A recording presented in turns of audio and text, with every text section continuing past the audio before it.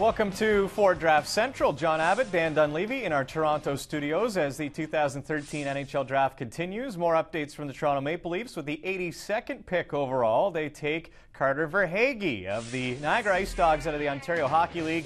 Dan, they uh, continue to grow down the middle as they take another centerman and another local kid to their organization. Yeah, I think we clearly have seen the strategy here. You mentioned down the middle for the Toronto Maple Leafs for the now in acquiring David Bolland and also in the future in picking up Verhaeghe, a player whose numbers are going the right direction in junior. You and I both know about Marty Williamson, the type of players that he can produce.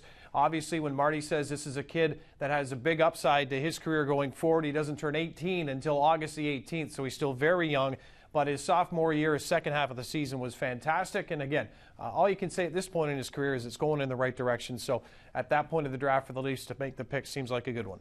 Won gold with uh, Canada's under 18 team, so he put the Maple Leaf on then. I'm sure thrilled as a Waterdown boy to put the blue and white on uh, as he goes to development camp in a couple of weeks. So it is Carter Verhaeghe, the Ice Dogs, David Bolland through trade with the Blackhawks, and Frederik Gauthier with their first pick in the first round. The Maple Leafs continue. We'll have it all recap for you with a Ford Draft Central post-draft show tonight.